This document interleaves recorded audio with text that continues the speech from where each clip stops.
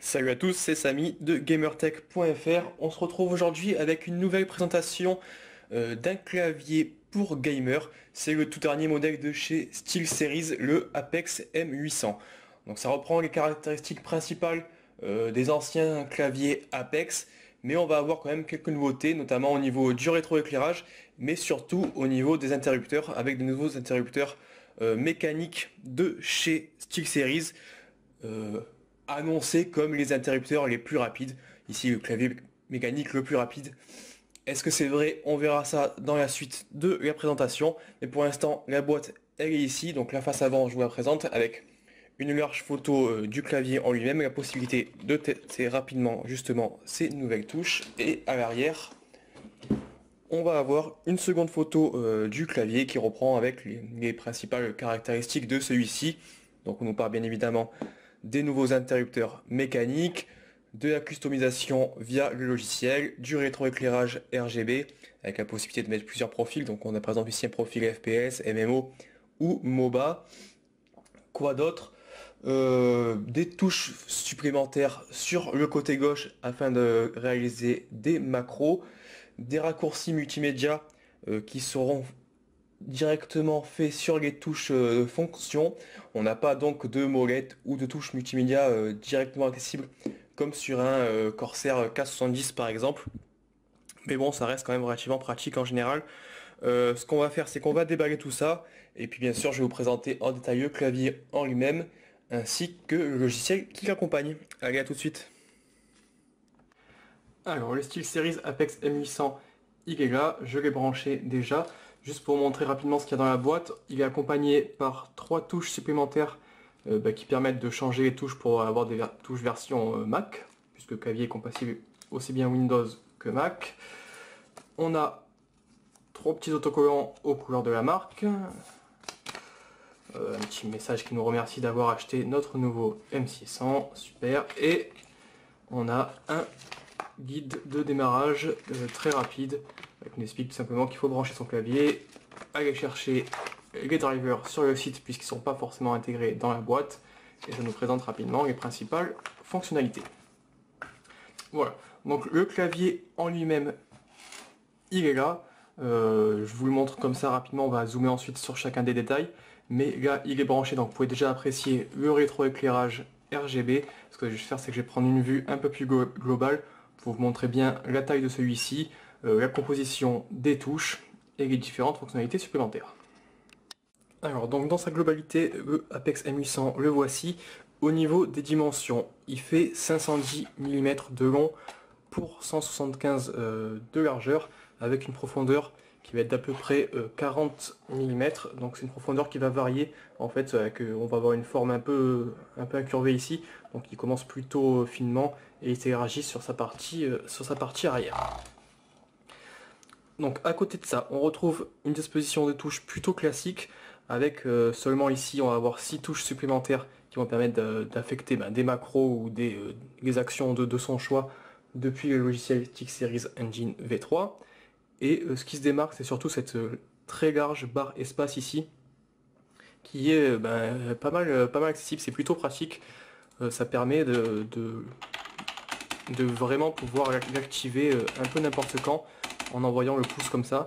C'est plutôt, plutôt sympa. On n'a pas de touche spécifique pour euh, régler tout ce qui va être euh, contrôle multimédia ou volume. Des touches qu'on pouvait trouver ici par exemple sur euh, un Corsair K70 comme je le disais précédemment. On a ici par contre le logo qui est rétroéclairé.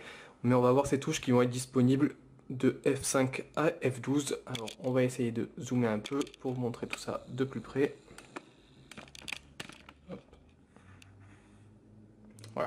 Donc on va pouvoir euh, régler la luminosité de l'écran, du clavier, pardon. Là on a baissé la luminosité. Là on va l'augmenter. On peut passer d'une piste à l'autre, mettre en pause lecture, diminuer le volume, augmenter le volume, ou mettre carrément sur, euh, sur mute. Donc voilà, à peu près au niveau des fonctionnalités euh, classiques, on va dire, du SteelSeries Apex M800. Euh, d'un peu plus près, on va voir tout de suite ce que ça donne en détail. Et je vous montrerai également à quoi ressemblent les interrupteurs, donc les QS1 qui intègre ce nouveau Apex M800. Et puis bien évidemment, on va faire ensuite un, petit, un petit passage sur le logiciel qui accompagne le clavier. C'est celui qui va permettre de gérer évidemment la configuration des touches, mais aussi euh, le rétroéclairage. Donc là, vous pouvez voir, on va avoir déjà des touches qui vont changer de couleur euh, lorsqu'elles sont activées. Mais il y a bien plus d'effets qui sont disponibles. C'est vraiment un des logiciels les plus poussés euh, niveau rétroéclairage RGB et je vous montre ça dans la suite de la vidéo. Alors donc d'un peu plus près, les touches du QS1 du SteelSeries Apex M800 pardon, les voici. Vous voyez que c'est des touches qui vont être relativement, relativement basses par rapport à ce qu'on voit d'habitude sur les claviers mécaniques. Euh, avec des interrupteurs qui, diffèrent également des euh, Cherry MX classiques qu'on trouve sur, sur de nombreux claviers ou leurs variantes chez, euh, Logitech avec les Romer G ou chez Razer avec les Razer Green qui ressemblent relativement beaucoup au, au Cherry MX.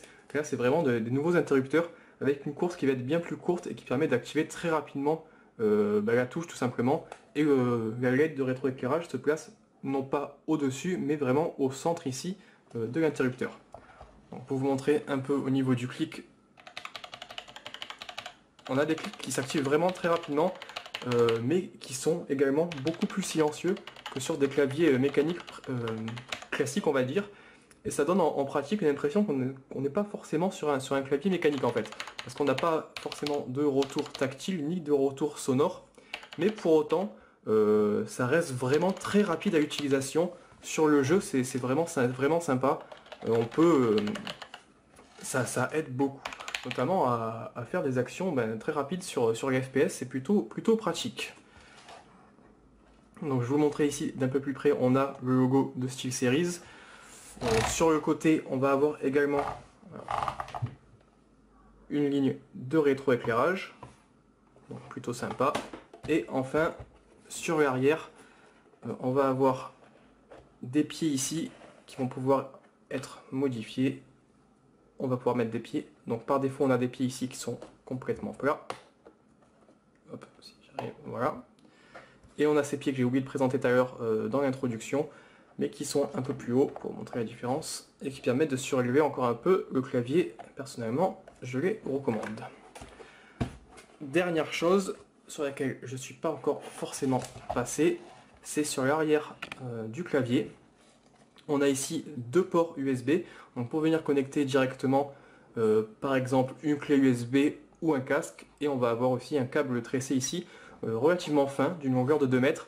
Donc c'est plutôt, plutôt sympa qu'il soit, soit fin comme ça, ça permet de, facilement le, cacher, et puis de facilement aussi le plier pour pouvoir le, ranger parfaitement comme on veut sur son, sur son bureau. Donc ce qu'on va faire maintenant, c'est qu'on va passer sur la présentation du, euh, du logiciel SteelSeries Engine V3 et je vous montrerai en même temps ben, les différents rétroéclairages qu'il est possible de faire avec ce logiciel. Alors, le logiciel SteelSeries Engine 3, il est disponible directement sur le site internet du constructeur. Euh, une fois téléchargé et installé, vous allez sûrement devoir faire une mise à jour de celui-ci. Euh, vous allez avoir une fenêtre ici qui va vous proposer de faire une mise à jour directe. Ensuite, il faudra juste débrancher et rebrancher le Apex M800 euh, pour qu'il fonctionne parfaitement. Donc on retrouve trois onglets. Le premier onglet ici, il, s'appelle Mon équipement et il va lister en fait les différents équipements bah, SteelSeries dont vous disposez. Donc ici, il y a seulement le Apex M800 qui est connecté. en cliquant dessus, on va avoir une nouvelle fenêtre qui va, euh, s'afficher. par défaut, allez sur cet onglet ici, raccourci clavier. Ça va permettre tout simplement ben, de configurer euh, l'affectation de chaque touche. Donc on peut modifier chacune des touches du clavier. Donc par exemple, on peut mettre le Z à la place du P si, on le souhaite, même si ça n'a pas forcément de, sens. Hein. Mais on peut surtout modifier ces six touches ici de raccourci. Donc en cliquant par exemple dessus, là on a affecté volume plus, mais en cliquant dessus, on va pouvoir avoir une liste de différentes actions. Donc on va quand même avoir des touches du clavier. Donc on retrouve toutes les touches classiques du clavier. Mais on peut mettre aussi des macros, des boutons multimédia, des boutons de souris. Donc ça peut être euh, pratique pour changer par exemple le DPI de votre souris. On peut désactiver la touche, choisir une fonction du clavier. lancer une application, lancer un profil, ou choisir des raccourcis Windows ou Apple. Et lancer par exemple l'enregistrement de macro en direct. Donc c'est plutôt complet, on retrouve ben, toutes les actions euh, peut, qui sont, imaginables, pardon, et surtout la possibilité ben, de créer ses propres actions euh, depuis l'éditeur de, macro qui est ici. À côté de ça, on va avoir ici la possibilité de changer la région du clavier. Donc ça peut être intéressant si vous n'avez pas, par exemple, acheté le clavier en, QWERTY, vous allez pouvoir très facilement le transvaser en, en AZERTY. Et on va avoir le second onglet ici, éclairage, qui va nous permettre bah, de modifier tout l'éclairage du clavier. Donc comme je le disais précédemment, c'est vraiment un des, euh, logiciels les plus performants pour tout ce qui va être euh, réglage du rétroéclairage, parce que sur chaque touche, on va pouvoir affecter un éclairage euh, différent. On va avoir plusieurs effets. Donc on va avoir un effet avec la touche fixe où on va pouvoir choisir une couleur qui va rester figée. On peut choisir ici Color Shift, c'est-à-dire qu'on a les détails ici, ça va avoir en fait une séquence de couleurs sur, sur la touche. Donc ça va pas être seulement une alternance de deux couleurs comme on peut le voir sur, certains concurrents, mais on va pouvoir ici choisir euh, vraiment ses propres couleurs. Donc il y a des pré-réglages qui sont définis, mais on peut rajouter par exemple ici, euh, je peux très bien la faire devenir orange, puis bleu, puis jaune, et enfin redevenir, imaginons, euh, verte. ça va faire un truc vraiment moche, mais on peut vraiment créer ce qu'on veut et choisir à la fois la vitesse bah, de ce changement de couleur, donc de 2 à 30 secondes. On a un effet respiration, donc ça c'est un effet plutôt classique avec la touche qui va s'afficher en couleur, puis en noir, puis en couleur. Donc pareil encore ici on peut choisir euh, ben, de, mettre euh, à chaque fois la gamme de couleurs de son choix. On va avoir les touches réactives, donc ça on va avoir une couleur active euh, lorsque la touche est enfoncée et une autre couleur lorsque la touche est au repos. Peut mettre ici des minuteries de temps de récupération, donc ça ça peut être intéressant, surtout pour les joueurs de MMO par exemple qui ont des, nombreux cooldowns sur, euh, leurs compétences. Et on va pouvoir choisir une couleur lorsque la, la, compétence va être active, par exemple. Une touche va être verte, et une fois qu'elle va être euh, enfoncée, si on a une compétence qui se régénère au bout de 30 secondes, par exemple, on va mettre ici une, minuterie de 30 000 millisecondes, et au bout de 30 secondes, la, la, la touche va redevenir verte, alors que lorsque la compétence est inactive, elle devient rouge. Je ne sais pas si j'étais très clair, mais je pense que vous avez compris. De toute façon, l'explication, euh, elle est juste à côté. Par contre, voilà, petit détail, il faut que StickSeries Engine 3 soit euh, activé pour que cette fonctionnalité euh, marche parfaitement. Mais c'est vraiment une nouveauté, j'avais encore jamais vu ça personnellement sur d'autres logiciels qui permettent de régler tout ce qui est rétroéclairage des claviers. Et enfin, on peut désactiver l'éclairage avec la dernière possibilité. Donc ça, c'est si on souhaite modifier une par une les touches, on peut en sélectionner plusieurs en, laissant appuyer euh, le bouton de la souris ou tout simplement en venant les sélectionner euh, comme ça avec l'outil de sélection. Ensuite, on retrouve également bah, des, modèles, qui sont euh, prédéfinis. On va voir ici par exemple l'arc-en-ciel. et donc vous allez pouvoir voir le résultat directement sur ce que ça donne en réalité. J'ai filmé le clavier à côté. Donc on a l'effet Cover Shift, le Danish Flag, le drapeau américain, le FPS, Block Fade, le mode disco. Alors si vous avez envie de, vomir au bout de 10 secondes devant votre PC, c'est parfait. On a moteur supraluminique, respiration 4 couleurs, des vagues verticales, etc. etc. Donc il y a vraiment beaucoup d'effets qui sont euh, déjà préconfigurés. Je pense qu'il y en a d'autres qui vont arriver à chaque fois qu'il y aura de nouvelles mises à jour sur le logiciel. Et ça permet vraiment bah, d'avoir à peu près tous les effets qu'on souhaite obtenir sur un éclairage euh, RGB. Alors si on quitte cette fenêtre, je vais vous présenter rapidement les autres onglets. Donc on a ici l'onglet bibliothèque qui va permettre bah, d'affecter euh, des profils différents à chaque logiciel ou à chaque jeu. Donc euh, il suffit d'aller chercher une application, ça va relativement rapidement. Donc ici par exemple il y a CSGO, FF14 ou Metal Gear 5. Et on a euh, la dernière, dernière option ici, c'est l'option GameSense qui va permettre en fait d'avoir des éclairages qui vont être modifiés en fonction de ce qui se passe euh, vraiment dans votre jeu. Donc c'est compatible avec Counter-Strike, avec Dota 2 et avec Minecraft. Par exemple, euh, ici sur Counter-Strike, on va pouvoir mettre sa barre de vie sur les touches 1 à 0. On peut bien évidemment choisir la couleur. Euh, lorsqu'on va avoir peu de vie, ça va devenir rouge, et lorsqu'on va avoir la vie complète, ça sera bleu. Donc en gros, euh, si on se fait toucher et qu'il nous reste 50% de santé, on va avoir les 5 premières cases qui vont être illuminées en, vert, et les 5 dernières qui vont être illuminées en rouge.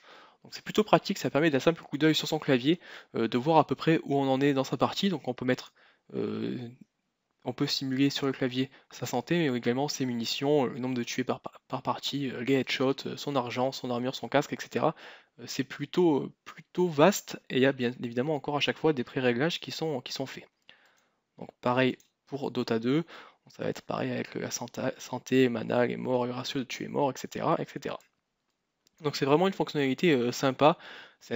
Bien évidemment c'est un gadget, mais ça, ça rajoute encore un peu d'immersion euh, sur le jeu. Personnellement, moi je trouve ça plutôt fun. Donc voilà un peu ce qu'on pouvait dire sur ce nouveau Stick Series Apex M800.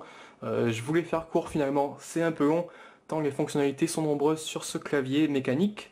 Euh, pour rappel, c'est disponible pour un autour de 189 euros, il me semble, chez Amazon notamment. Donc euh, voilà, si vous voulez en savoir plus et obtenir plus de détails sur le clavier lui-même, bah, je vous suggère tout simplement de vous rendre sur gamertech.fr et de consulter le test complet et imagé. Et si vous avez des questions supplémentaires, eh ben, n'hésitez pas à poster ces dernières sur les commentaires de la vidéo. Allez, je vous dis à la prochaine pour un nouveau test.